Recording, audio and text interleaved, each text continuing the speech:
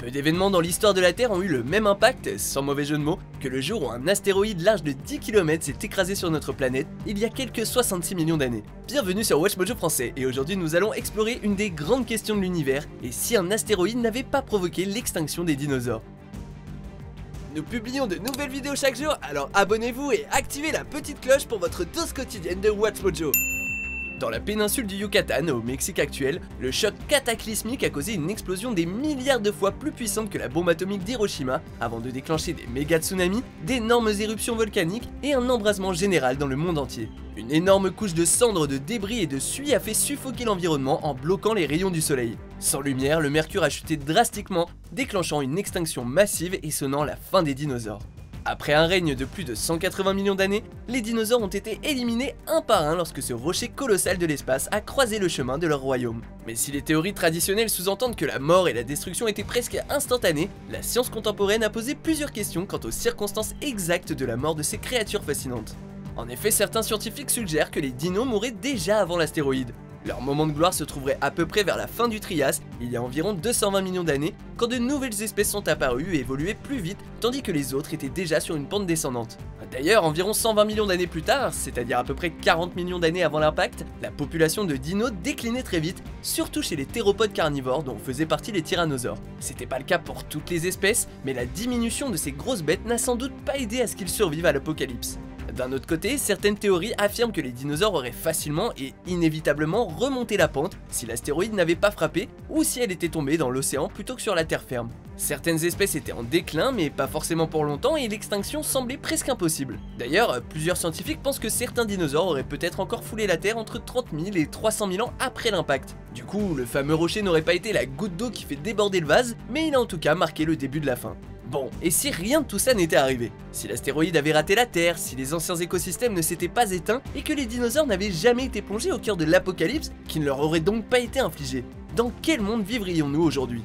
Dans les jours, semaines et mois qui ont suivi l'impact de l'astéroïde, ce n'était plus la loi du plus fort, mais bien du plus petit pour la survie. Les plus gros dinosaures ont été les plus affectés en grande partie parce que le désastre a détruit la chaîne alimentaire, laissant les plus gros bestiaux le ventre vide. Les créatures comestibles étaient évidemment difficiles à trouver et le stock de plantes a été gravement entamé par les changements de température, de temps et aussi dans le sol. Pour nous les humains, il s'agissait d'une bonne nouvelle puisque seul un tout petit nombre de mammifères bien moins imposants pouvaient survivre tandis que leurs prédateurs mouraient. Un monde sans astéroïdes n'aurait pas connu le même changement et le règne des mammifères n'aurait probablement pas eu lieu. Du coup, vous, moi et le reste des humains n'auraient sûrement pas existé.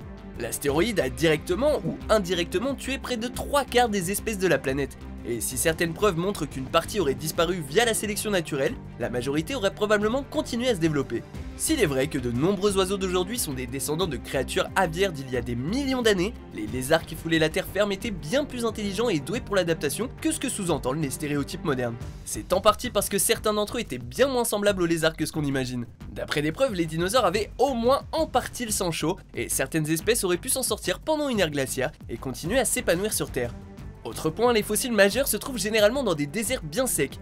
La raison principale, c'est que c'est là qu'ils sont le mieux conservés et accessibles, et non pas parce qu'il s'agit du seul endroit où vivent les dinosaures. En 2015, la découverte de l'Ugrunaluk kukpikensis en Alaska a montré que la population des dinosaures était très étendue. S'ils n'avaient pas été arrêtés par l'astéroïde, leur polyvalence aurait sûrement augmenté leurs chances de conquérir toujours plus de territoire. Aujourd'hui, le mot dinosaure signifie quelque chose de vieux, de démodé ou d'inutile, mais cette description n'a absolument rien à voir avec ces créatures visiblement imbattables. Presque impossible de deviner comment les dinosaures auraient évolué 66 millions d'années après la fin soudaine du Crétacé, mais la plupart des théoriciens s'accordent à dire qu'il y aurait eu de grands changements. Les formes les plus célèbres telles que le Tyrannosaurus rex et le Triceratops auraient changé pour s'adapter à leur environnement en développement. En matière de changement possible dans ce laps de temps, prenez en compte le fait que les mammifères sont passés des petites musaraignes de l'époque aux humains d'aujourd'hui. Les possibilités sont donc assez vastes. Et vu que les dinosaures semblent ne penser qu'en termes de superlatifs, les espèces les plus rapides, fortes et imposantes seraient sûrement devenues plus grande encore, tant en largeur qu'en longueur. Mais le développement de l'intelligence des dinosaures aurait aussi été un facteur clé et a fait l'objet de nombreuses spéculations, notamment à cause du troodon. Ce dino possédait un cerveau très imposant comparé à sa taille relativement petite, et on pense qu'il aurait été l'un des dinosaures les plus intelligents avant l'extinction. Il marchait sur ses pattes arrière et possédait de grands yeux orientés vers l'avant, et certains se sont même amusés à dire que le dinosaure le plus malin était en passe de ressembler à un humain. Ce fameux dinosauroïde serait peut-être devenu complètement bipède tout en conservant ses écailles, des dents plus aiguisées et une vision plus nette, le rapprochant pas mal de l'alien typique de la zone 51. Cependant, de nombreux paléontologues affirment que cette vision n'est que le produit de l'arrogance humaine et qu'il n'y a que peu de raisons de croire que les futurs dinosaures nous auraient ressemblé, à moins d'une énorme coïncidence évolutionnaire. Le design de l'humain est bon, mais il n'est pas un but en soi et les options sont presque infinies. Cela étant, si les dinosaures avaient pu évoluer et s'améliorer pendant des millions d'années supplémentaires, l'émergence des mammifères aurait été de plus en plus dure, voire impossible. Les dinosaures dominaient tellement la chaîne alimentaire que même dans une moindre proportion, ils n'auraient pas vraiment permis aux autres espèces de se développer. L'intelligence des dinos n'aurait peut-être jamais atteint la nôtre, après tout, les crocodiles sont là depuis des lustres et aucun n'est encore devenu président, ce qui ne les a jamais empêchés d'être au top de la chaîne alimentaire. Et en vrai, qui aurait bien pu les défier? Donc, si l'astéroïde n'avait jamais tué les dinosaures, on a tendance à penser que les futures versions du Vélociraptor et de ses potes, avec ou sans cerveau au standard humain, fouleraient la Terre moderne, à moins qu'un autre facteur d'extinction ne soit survenu comme le réchauffement climatique par exemple. Même si on a parfois l'impression qu'il s'agit d'un phénomène moderne, le réchauffement et les changements climatiques ont et auraient hypothétiquement causé des problèmes majeurs aux dinosaures aussi. L'ère mésozoïque, formée par le Trias, le Jurassique et le Crétacé, a connu de grands changements, notamment la rupture de la Pangée en diverses masses terrestres qui sont devenues les 7 continents d'aujourd'hui. En règle générale, la planète s'épanouissait avant que l'astéroïde ne frappe, un peu comme un jardin au printemps.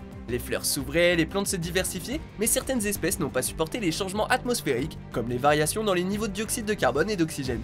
Avec en plus des éruptions volcaniques très répandues et sans précédent avant et après l'impact, le monde aurait probablement éliminé les dinosaures quoi qu'il arrive. Le rocher de l'espace a simplement accéléré les choses. La planète aurait tout de même pu connaître l'ascension des mammifères, mais plus tard dans l'histoire. Ou alors on aurait connu d'autres espèces dominantes. Ce qui est certain, c'est qu'on ne le saura jamais vraiment.